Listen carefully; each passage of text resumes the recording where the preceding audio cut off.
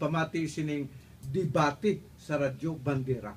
Mga na different nga mga doktrina sa different nga mga religious group mga kabandera. Exciting ini. Kung gusto mo maangkon ang kabuhi nga wala katapusan ah, diri among mga giya. Diri ka makapamati sing mga ah, doktrina mga kabandera. No mayo man nga pag-abot ni ah, ah, Jimbo. Ah, ah, okay. Welcome mga kabandera this time ah, before si ah, ah, Dr. ah, si ah, brother ah, ah, J ah, Pastor J ari anay ho i-acknowledge ta si Ermeline Torres uh, uh, Duquines no nag-join sa atong programa Ah, si Ronald Grigas. Ang Sweet FM Kabangkalan nag-join man.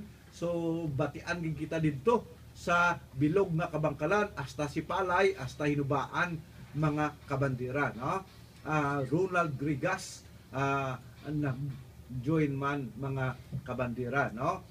Melvini ah, Ma- Mahin ah, nag-join man.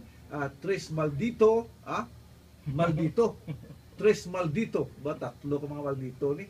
Ah, good afternoon. I'm watching here at Damam. Taga Damam ni. Ah, Damam KC naga ah, lantaw gid gina pamati gid sa aton nga ah, programa. Andrea Ha- Jaime nag ah, join man mga kabandera. Text man kamo sa aton hotline 0949-190-5106 this time ah, roll na ni ah, Pastor J no? Iplastar niya ah, nga ining doktrina ni Ray or doktrina sang Katoliko hindi matuod. Ah hindi na matuod. Ah, patindugon yan eh nga ang mga ah, kuan ang mga buhi ah, hindi iya mahilabtan sang mga patay bago na po namin ni kay pastor kay Dr. Ray mo kung uh, kuan eh kay nga ah, request lang tato hindi kita mabuligan na hindi ka na gusto ah, ah, Pastor J na mag-request na to sa mga himata mo to o na ba na? Gusto gid kong tugot sa Bible pero di wala man ginatugot sa Ate, sige. Ah, ah, okay. Ah, 5 minutes yatag sa imo. Ah, 5.07. So, mga 5, 12, 13, ah, ah, stop ka na.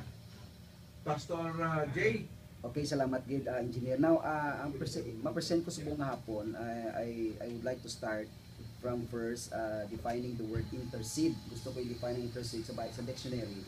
So dire ang meaning ng intercede is to try to help settle an argument or disagreement between two or more people or groups to speak to someone in order to defend or help another person. So ang gi-present sa bago lang ni uh, Dr. Intila sa aton uh, um, medyo something mixed up that that's why nga maintindihan ini sa ating mga listeners when we say intercede it is only allowable nga mag-intercede ang saints uh, with another saints or other other person while they were uh, living on the earth buhi pa sila pwede ka intercede except for example in my case I can intercede with my unsaved family agud ang Dios magtrabaho sa ilang hikuton sa Dios nga maglabot siya sa kalawasan but not to the extent nga ako diri nga buhi ya mga nga maayo ko to sang ma-intercede ako, ma-pray ako dito sa somebody nga patay na kag mangayo ko sang bulig. So because uh, hindi wala na iya ang Bible wala na nagatudlo sina. So ang intercession it could on it, it could only applicable sa mga buhi na iya nga mga saints. So that's why nga uh, diyan ko nga i-clarify sa sini nga discussion nga dialogue nga dapat eh, every time mangayo ako sa mga scriptural support on the part kay Dr. Intila, i-present sa akon sa biblical nga, nga presentation nga indeed there was a dead person or dead saints nga dito sa langit nga nag-exist nga nag-facilitate sa mga prayers sa mga tao diri sa kalibutan. So every time nga may mga may mga although may giging presensya sa aton sa Revelation chapter 5 but it was highly symbolic nga hindi mo na ma-define gid nga ah, kung ano gid ang uh, katabuda because ah, may may symbolic ka lang gipanggamit dira sa Revelation chapter 5. So ang ginapang may pangbasa sa Ephesians, ah, Romans, Corinthians, those are pertain to the living saints of God. So wala na yan na pertain sila sa mga patay. So only that nga kung basahon nimong Bible, in fact, basahon mong Bible from the very beginning, gina-prohibit, gid ginawarningan kita nga hindi kita mag ah, pakig-angot sa mga tao nga napatay na. So like for example, diri sa uh, Leviticus chapter 19 verse 31 amo ining si ambal sang pulong sang Dios nya do not go after those who make use of spirits or wonder workers. Do not go in their ways or become unclean through them. I am the Lord your God. Sa Leviticus chapter 20 verse 6 and whoever goes after those who make use of spirits and wonder workers doing evil with them against him will my face be turned and will be cut off from among his people. Sa verse 27 sa Leviticus chapter 20, any man or woman who makes use of spirits or who is a wonder worker is to be put to death. They are to be stoned with stones. Their blood will be uh, will be on them. So makita ta diri nga ang pinaka basic na teaching sa Bible wala ginatugot sang Dios even sa law sa Old Testament nga ang mga buhi nakig-communicate sa mga patay. So that is very clear teaching sa Bible. Now, ah, ang intercession as what I have said kagahina, pwede na sa himuo nato niya sa mga buhi. Pero that's why kung basaho mong Bible diri sa Luke chapter 16, this is very ah, clear katama. Sa Luke chapter 16, there was one time nga request nga tabo. In fact, hindi to gani iya gid nga buhi pa kundi palariyo na gid sila patay. Nga na ari sa Luke chapter 6 ang story dapat ni Lazarus kag sang rich man nga napatay sila nga duwa ang isa nagkagto sa bosom ni Abraham ang isa ya dito sa sa Hades. Nakita mo nag-request diri ang rich man nagayo sa sa kay Abraham. Sige diri yo sa basic Bible English version sa verse 27 siling diri sang Bible and he said father it is my request that you will send him to my father's house napatay ni sang rich man only to find out nga iya gali ginahimo engineer malaot So na-realize siya niya, ay amo gali yung destination na kung mapatay kung magimo ako sa malaot. So upon realizing that, nag-request sa kay Abraham nga kung pwede padala to banahon Last sila sa ro.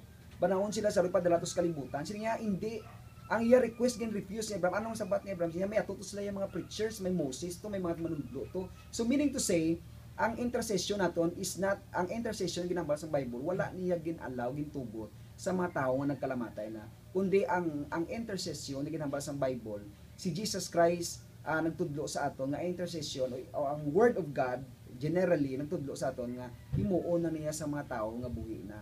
Ang ang isa lang niya ka intercessor nga nakahimo sinadra iya nga naga-intercede ah, heaven and earth is Jesus Christ alone.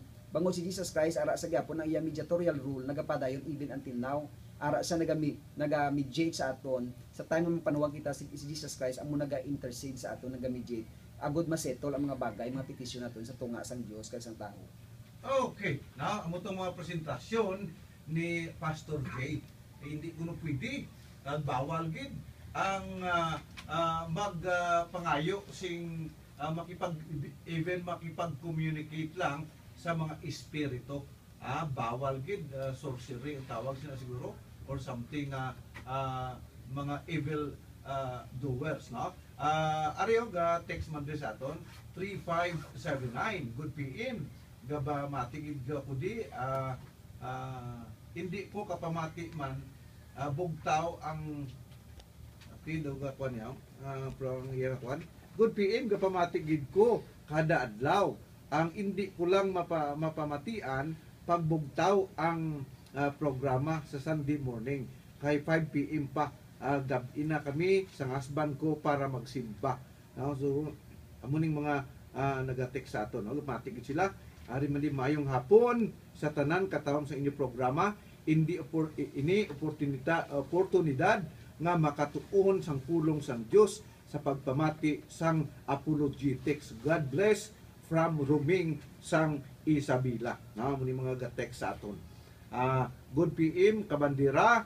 Greet lang kami sa Fortune Town. Gapamati kami sa debate ninyo tersoni sige ah, ah padayon lang sa inyo nga pag-text diri pag ah, pamangkot hatag sing mga komentaryo sa atin nga aton nga programa ah, debate sa radyo Bandera.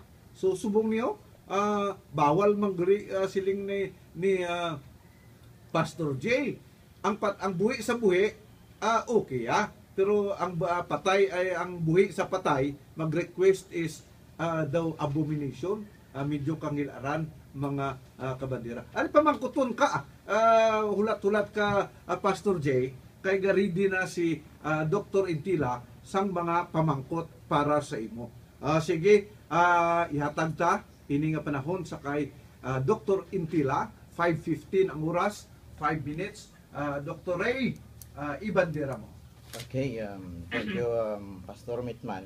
Ang una kong nga question, may mabasa ka sa Biblia, sa Old Testament man o sa New Testament, nga nagasiling nga bawal mag-communicate o mga yubulig sa mga espiritu, sa mga santo, sa langit. Ah, may yes, mabasa ka, wala? Yes, may ara ko mabasahan. May mabasa ka. Gibasa ko pila ka verses but a while ago.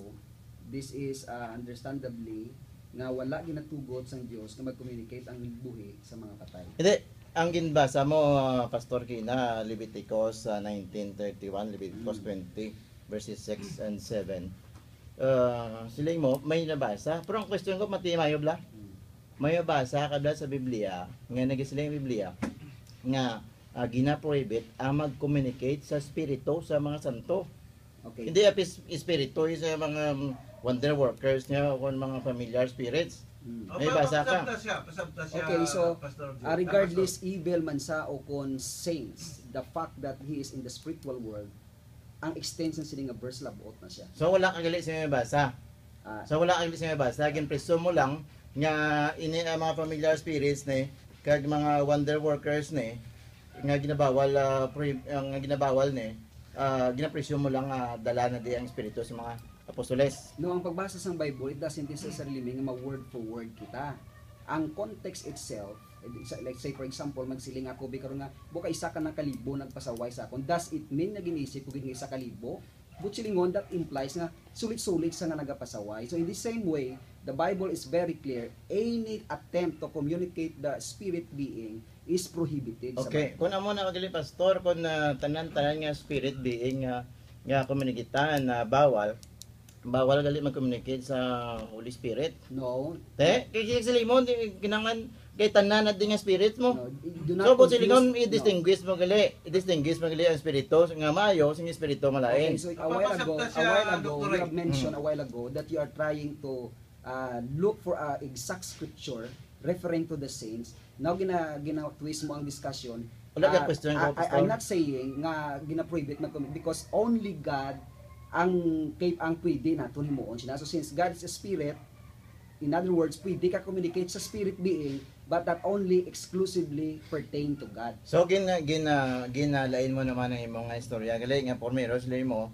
ah, sa tanan nga espiritu ah, bawal mag-communicate pero subong gina-distinguish mo nga may ah, good spirit gili nga pwede kita communicate. No, I don't say Sa- good, good sa- spirit, but Yeah. I'm saying to God because God is a spirit. So, so, but, but is it not good?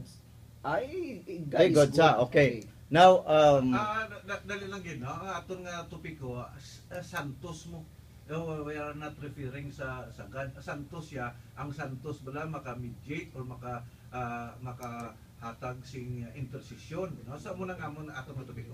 Okay, now um ang imo ginbasihan actually Old Testament, hindi naman daw subong na belong sa Old Testament, no. Um inibla ang mga santos or mga um, uh, heroes of uh, of faith ni. Um buhi ni sila subong o hindi kasi sila mo patay sila mo. No, ang, Ang espiritu nila bla buhi o hindi? Ah, of course, buhay ang espiritu sa mga Mhm. saints. Okay. Now, ah, what I'm trying to say, sa siningang kahaponanon, uh, to say that the a dead person can intercede, facilitate, o makabulig sa aton, wala kita sa scriptural support. But it's just an assumption. But to say that we can in we can pray to God and God or through Jesus Christ can intercede to us, that is biblical. Okay. Uh, no, sa gapati kailing nga buhi man sila. Ang mga nagkilamantay na mga saints buhi man sila. Yes, as So kay saints buhi according sila sa makakita sila sa aton, makabati sa sa aton hindi. Makabati. So makakita ang gabati. Pero kung mga ta bulig sila, bungol sila kag bulag. No. So Ah, ang una yung mga punto da, di ba? that's your point. Mm. na i- as what I have sige question ko kay gina kung may kung may kung may magpanga may mangayo si mo request ka nakabati ka that is uh, equivalence nga gin-facilitate ka so mo gina yes pero ang ang point ko sina nga wala sang biblical proof nga may mga patay nga tawo nga maka-facilitate sang aton mga prayers So okay, ginabalik mo naman ang patay na kay ginaginako mo na ang mga saints nga nagkilamatay na buhi gyapon, di ba? Kay God is the God of the living, not the God of the dead. He is the God of Abraham, Isaac, and Jacob. Mm.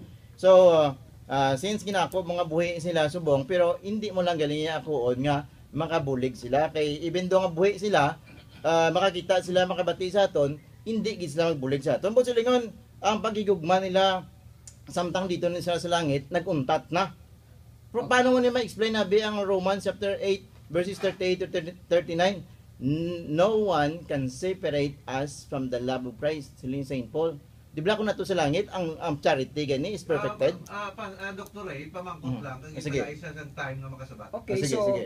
ah, I, I consider ko ang ina nga mga verse na ginambang mo, but it doesn't applicable sa mga dead person. So we, it doesn't mean kablo ka ang aton nga human philosophy, human understanding, we cannot allow that our human understanding will supersede the very teaching of the word of God. Kaya amo nang rason nga damo interpretation ng Bible because kung maghambal kita, ginaasam niya like Revelation chapter 5, you're assuming nga ang mga patay sa langit nagfacilitate sa aton. In fact, that is the only scripture nga basa mo sa aton which is also not applicable according to your own interpretation. Ano pa um Ah, imo na interpretation no? imo na interpretation no? Nga um, ang ah, ang ato ang sa Revelation na 5 uh, 8 to symbolic to sila. So symbolic sing uh, ano to sing espiritu. Di ba ato ang naga naga halad sang um, aton nga mga prayers dito sa langit. Hindi ba pareho ni sa sila ni Saint Paul sa Romans chapter 15 verse 16 nga I am uh, presenting the sacrifice of the Gentiles to God.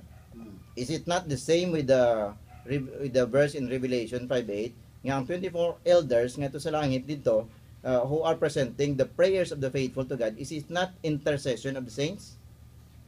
Ah, well, ang imo ang imo na nga gibasa na na, that is an intercession. So intercession. Okay, but it doesn't necessarily mean what I mean nga gina-facilitate kita nila nga ginabuligan as what sang word nga intercede nga ang aton issue diri kalibutan sila yung ma-facilitate because ang Bible is very plain nga kung may arguments kita may petition daw we, we have to address it directly to God not to other saints who are dead according sa imo nga understanding. Okay, okay mga kabandira. No, amuting amuning aton beauty mga kabyanan, ah, nami sa mga pamangkot, mga ah, specific kag ah, kanami man sang mga sabat, no? Ah, ang gusto ko lang maintindihan, ining ginahambal nga facility, ining ginagrant, ginagrant mo ang request sang ah, imo utod, ah, something amuni.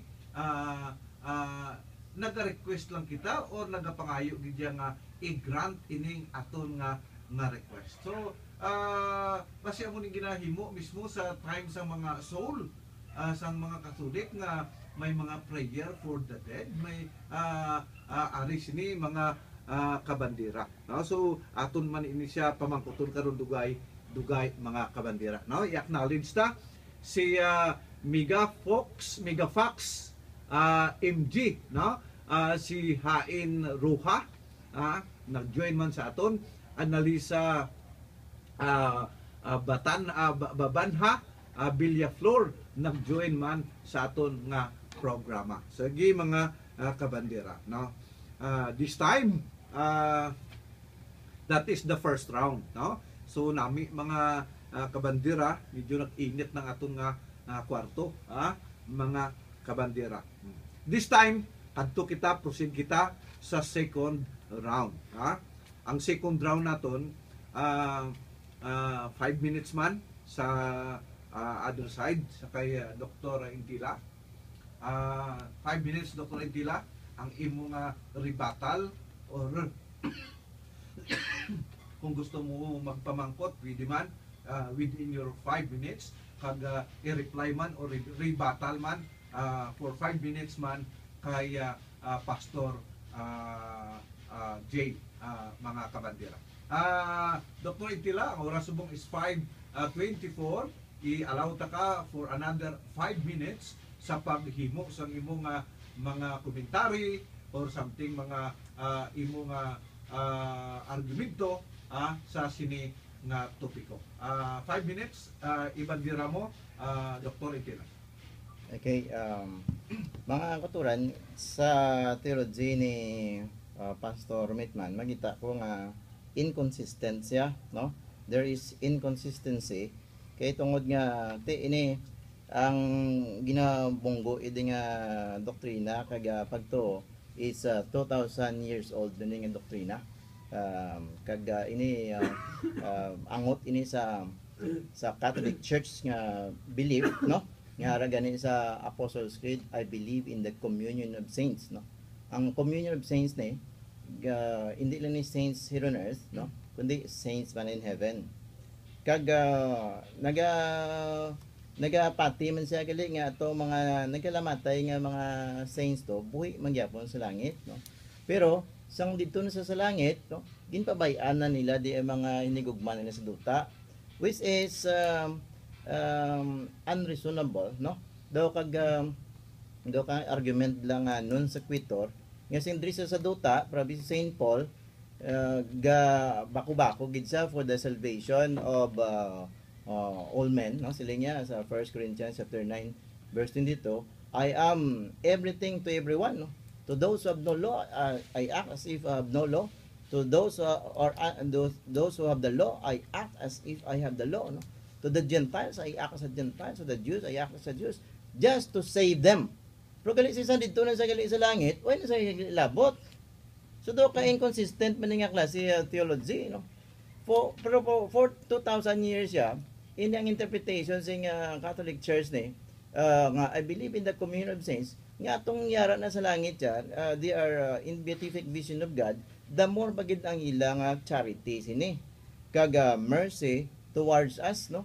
Daw ikaw lang nga ato ka na abi sa uh, Europe o sa United States kataas ato sa imo nga sweldo ginbayaan mo lang diyan nalimtan mo nang imo kauturan diri sa um, Pilipinas sabi nga nagagutom o kung uh, in dire poverty against naman na sa Christian charity no? So sa sa sa punto pa na daan sa um, common sense against na ina no? Sa punto naman niya sing um, Bible ya ato yung mga ayara sa langit they are interceding for us no? Kina ginambasa ko di o gin-quote ko ang Romans chapter minutes. 15 verse 16 ari basa ko kapag iliwat sila ni Saint Paul dio may kaisog ako bangod sang pinasahi nga pribilehiyo nga ginatag sang Dios akon nga mangin isa kaalagad ni Kristo Jesus nga sa pagpangabudlay para sa mga hintil. Nagaalagad ako subong isa ka pari sa pagwali sa mayong balita gikan sa Dios agod nga ang mga hintil mangin isa ka halad nga nahamutan sang Dios nga ginhalad sa iya sang Espiritu Santo. Ang mga hintil may imo nga halad no? But sila insinso bla kay uh, symbolism incenso is um, uh, pure offering to God no Di makonect mo ni sa um, uh, Revelation chapter 5 verse 8 to nga ginasilindio no. Uh, nga nga uh, sila ni Saint John bla um, bi, bi, begin din sa verse 1 may nakita ako nga linukot nga tulunan sa tuo sa Last one minute. nga kamot sing isa ka nagalingkod sa trono nasulatan ini sa gwa kag sulod kag napitlan sa pito ka selyo. Sa trono ni sa langit no? Samtang ginahimo niya ini ang apat ka buhi nga mga tinoga kag 24 ka mga katigulangan no? Te ano I don't know kung ano ang klase symbolism ng iya no? Di ba si i-symbolize ni sing uh, uh, hindi ni tao ang 24 katigulangan ni nagaluhod sa tubangan sang kordero sa Jesus ni. Ang kadaisan sa ila may arpa kag mayahong nga bulawan nga puno sang insenso nga amo ang mga pangamuyo sa mga tumuluo. Now um, ini makita mo ni sa Tobit chapter um, sa Tobit chapter 12 verse 16 no? Kaga Tobit chapter 12 verse 12 sila ni Raphael I am Raphael one of the seven who stands in the presence of God. Sila niya kay um, sa kay uh, Sarah kag kay uh, Tobit when you pray to God I was the one who offered your prayers to God Tiyan mo ni nga mas kita na mo ni ang the book of Tobit abi mas ni sabi nga ti kuan ni outside of the uh, Bible ni. Outside of the Bible ya sing protestante. So 1611 eh 30 yang ako niya nga mayong balita Biblia o ari diyang book of Tobit kagara man sa first uh, Maccabees chapter 15 gina sila itong uh, si si um, Onyas ato sa langit. Duwa sila ni Jeremiah ga intercede for the people of God so amo ni mas nga bed extra biblical nga be. Pero extra biblical evidence mo na gyapon. Pero kung i-consider mo nga part of the Bible ni kay reformers man protestants man na nag-reject sini ah, part of the Bible nakita mo ni nga may kaangtanan gyapon ang mga anghel kag mga tao sa Dios nga, sa mga tao yari sa duta. Because of the the communion of saints na mo Romans chapter 12 kag 1 Corinthians chapter 12 we are only one body in Christ so ano ang katabo sa parts in body ya katabo sa whole part of the body Dr. Ray, i-reserva mo ng iba ng Mhm. mga uh, reasoning mo sa next nga round to gid no Okay. Ah, sige mga kabandera no Ah, delikado katama halin sa kay 4914 delikado katama ang magkunik kita sa mga patay kay si Satanas pwede sa kasabat sang mga intercession without uh, knowing nga siya na gali Ah, to agud ma ma buhinan aton faith kay Jesus Christ. Tapos maging habitual na dayon naton nga good result. Uh, why direct to God upon uh, and not to intercession Sige. sige ko na. Ah, ah, hindi mga mga pa ni mga mga mga text lang ni sa aton nga ano no? Ah, mga komentaryo sa aton mga texter. So ma makalamang kay karon sa tiempo kung na ikaw ang sige sabat sini kay mostly sa mga naga-text ni ah, mga mga kuan lang ga komentaryo no so ah, mga additional Si na Pro, ang komentaryo nila against sa ako, gina na sabtong ko na eh. Ah, Or else karon nagdugang ako ron nga nagdugang Okay ilang na. uh, Y- yun yung taga- objection against sa ako. Ah, pa, Dr. Ray, ginataga ka Mm. 5 minutes. So, ini Oh. lang nga mga ginapahabulog ko sa imo, sa next nga Ah. round mo, isabton mo ni. Not necessarily nga isa sabton mo ni dayon, kay kung tanan ni nga mga kuan, i-reserve mo lang, i-note mo lang. At um, engineer, kay kung sa boxing na, rabbit pants na mo, foul blood, ah, may may may dokol siya, may ron nga paaman, di karon di foul na yan para sa ako. Di, no? hindi man nihalin kay kay Pastor J, ini Mm. mga texter mga naga-join sa aton. Sige lang nga kuan ah, Dr. Ray, no? Mm. Ah, may another 5 minutes ka karon, tanan nga mga kuan at that's your time nga para maging maging fair kita. Tani 6 minutes ko kaya sabtong ko na inang objection. Ka- karon Hindi na, na yung question ni Pastor Whitman mo, question na Okay. lang sa piyak. Okay, Yeah. ah next 5 minutes. Before ta magkakadto kay ah, Pastor J, ano gusto mo mamangkot or something maghahatag man before ka maghatag sini, balik kita anay sa aton nga ah, studio.